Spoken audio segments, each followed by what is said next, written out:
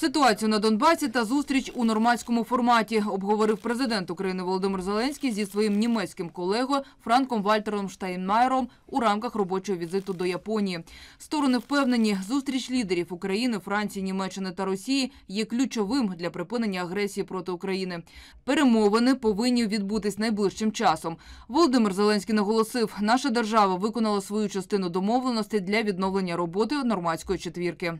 Росія має все-таки гарантувати припинення обстрілів, чого не відбувається вже скільки шостий рік, як триває російська збройна агресія, і ми не можемо виконання мінську від Росії домогтися, хоча б того, щоб не стріляли. І тому будь-які пропозиції про розведення не тільки в трьох е, пунктах, як Золоте, е, там Станиця Луганська і так далі, але взагалі по всій лінії це є нонсенс, поки немає припинення конкретно обстрілів. Росія продовжує саботувати цю зустріч і м, з'явилася абсолютно неприйнятна і нова умова цієї зустрічі з боку Кремля імплементувати так звану формулу Штайнмайера в українське законодавство.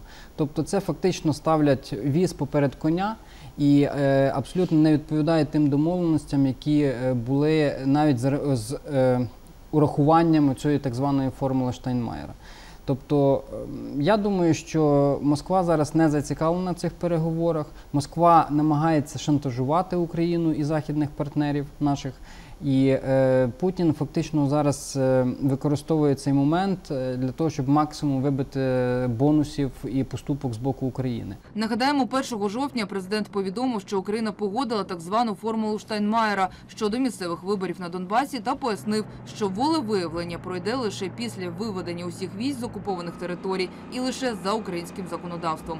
Першим кроком на цьому шляху має стати демілітаризація у Петрівському, що на Донеччині, та у Золотому у Луганській області. Відведення військ з обох сторін на кілометр можливо лише після семи днів цілковитої тиші. Проте досі цього немає. Російські окупанти лише від початку доби 12 разів порушили режим припинення вогню. Один боєць збройних сил України загинув, троє поранені. Минулої доби зберігалася тенденція щодо збільшення кількості ворожих обстрілів на лінії зіткнення. Противник обстрілював позиції підрозділів об'єднаних сил із заборонених мінськими домовленостями мінометів калібру 82 мм, а також гранатометів різних систем, протитанкового ракетного комплексу, великокаліберних кулеметів та стрілецької зброї. Окрім того, фіксувався вогонь ворожих снайперів. За 15 хвилин вільна Україна. Стільки часу займає перетин лінії розмежування між окупованою російськими найманцями Донеччиною та підконтрольною українським військовим територією, що неподалік Новотроїцького. Контрольний пункт в'їзду та виїзду цьогоріч завдяки модернізації збільшив можливості пропуску громадян удвічі. Щодня КПВВ у двох напрямках перетинає понад 6 тисяч людей та близько тисячі автівок. Роботу цього пункту пропуску особисто перевірили народні депутати з комітету з питань прав людини, деокупації та реінтеграції тимчасово окупованих територій, національних меншин і міжнаціональних відносин. Вони з робочим візитом перебувають на Донбасі. За словами очільника комітету Дмитра Лубінця, громадяни одразу на КПВВ відчувають піклування держави. Тут можна отримати безоплатну правову допомогу. А компетентні держслужбовці проінформують у питаннях отримання соціальних виплат та пенсій. все добре тут побудовано, організовано. І в першу чергу це показник того, що ми піклуємося про людей, які залишились на окупованій території, які їдуть в Волноваху, в Маріуполь для отримання або пенсії, або інших соціальних виплат, або оформлення якихось паперів. Автомобіль оформлюється не більше ніж за 15 хвилин. Е, Середня тривалість е, на даний час е, 10-8 хвилин. Люди оформлюються приблизно так само за 10 хвилин. Немає черг, ви бачите. Прикордонники ж уважно перевіряють документи громадян та наявність небезпечних предметів. Особлива увага за дітьми. така сама велика, ну не можна сказати проблема, але така ситуація, коли треба перевезти неповнолітню дитину, і коли, наприклад, батьки не можуть їхати, або один з батьків, або, наприклад, матір з батьком не проживає. Іноді вони не спілкуються, іноді хтось не платить елементи. Тобто дуже багато є нюансів, коли треба людині пояснити, як саме можна дитину провести через лінію розмежування. Тому що саме в питанні дітей, ну зосереджена велика наша увага, тому що не дай Боже, щоб на тимчасово непідконтрольну територію України вивезли дитину без згоди когось з батьків. Після успішного перетину КПВВ українці прямують до найближчих населених пунктів, зокрема і у Волноваху. Там є усе необхідне для комфортного перебування громадян.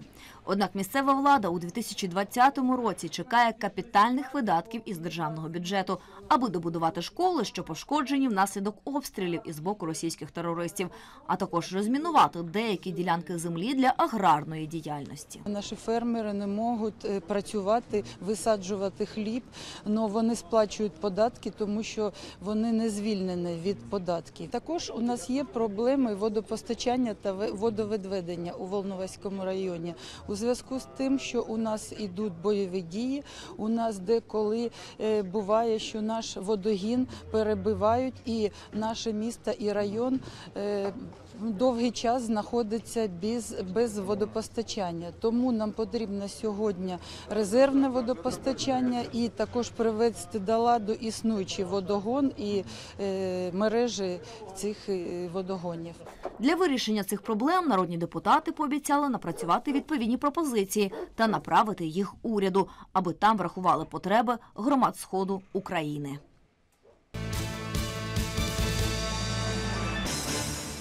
На Донбасі побував і новопризначений радник секретаря Ради національної безпеки та оборони України з питань реінтеграції та відновлення Донбасу Сергій Севохо.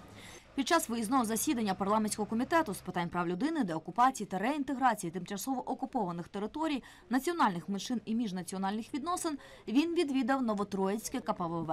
Провів численні зустрічі з військовими, представниками місцевої влади та людьми, які перетинають контрольно-пропускний пункт. Усі вони чекають повернення нормального життя і розвитку регіону. розібрані оці всі конструкції.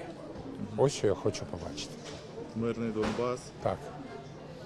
Як мога скоріше.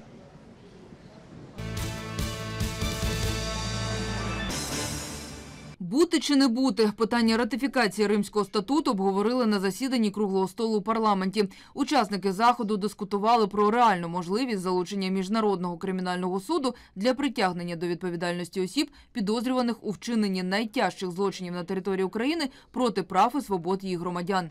Насамперед, ратифікацію Римського статуту передбачає угода про асоціацію України ЄС. Натомість експерти мають застереження. Зокрема, міжнародний кримінальний суд розглядає чотири основні види злочину: геноцид, воєнні злочини та проти людяності і агресію.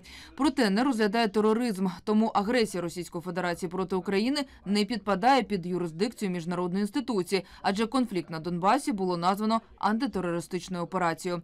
Також за Римським статутом воєнним злочином не вважають дії, які особа не усвідомлювала, зокрема незаконність наказів керівництва або стан алкогольного сп'яніння. Відтак, збиття малазійського боїнга MH17 над Донбасом у липні 2014 року російськими військовими та найманцями системою протиповітряної оборони також не розглядатиме міжнародний кримінальний суд. Так як Російська Федерація не є учасником Римського статуту, служителі Феміди не зможуть вести розслідування на її території. не зможе де-факто притягати до відповідальності громадян РФ. Адже заочне засудження за статутом не передбачено, а РФ ніколи не видасть е, своїх громадян судом. Крім того, РФ без е, реальних негативних наслідків зможе ігнорувати суд та його рішення. Незадоволені учасники круглого столу із статистикою вироків. За 17 років діяльності суд виніс лише три рішення. Загалом Римський статут підписали 155 держав, Україна 2000 року. Проте документ ратифікували лише 122 країни.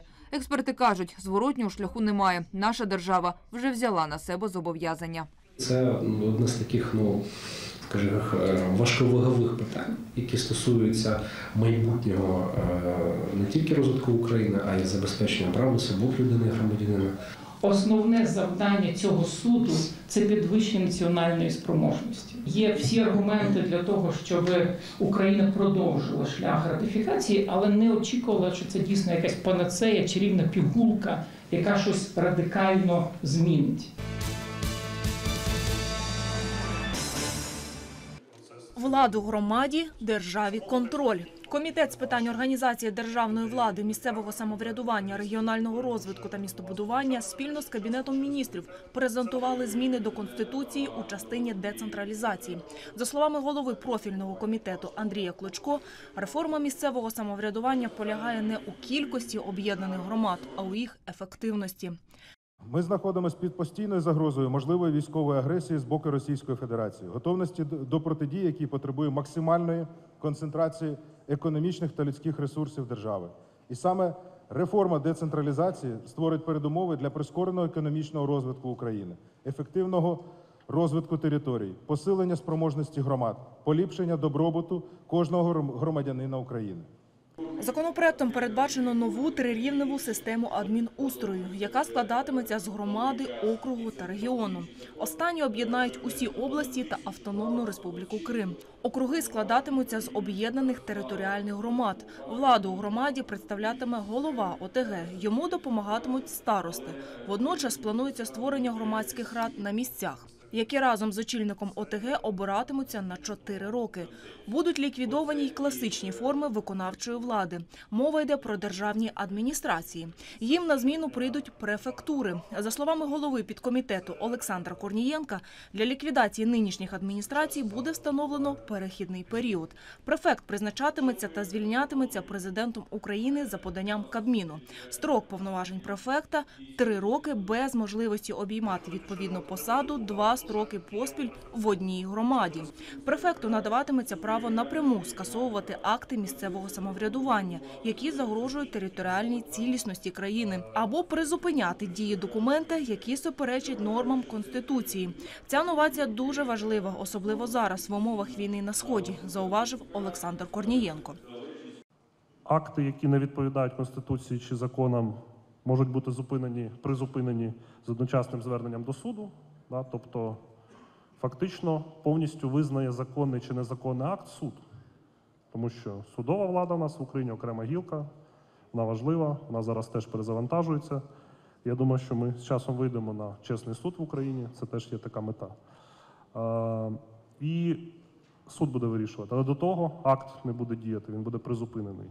Ще одна важлива новація субсидіарність. Йдеться про наближення послуг до людей. Народні депутати пропонують, аби частину послуг, які нині надають ЦНАПи, надавали старости безпосередньо на місцях. А держава своєю чергою компенсує витрати місцевих органів.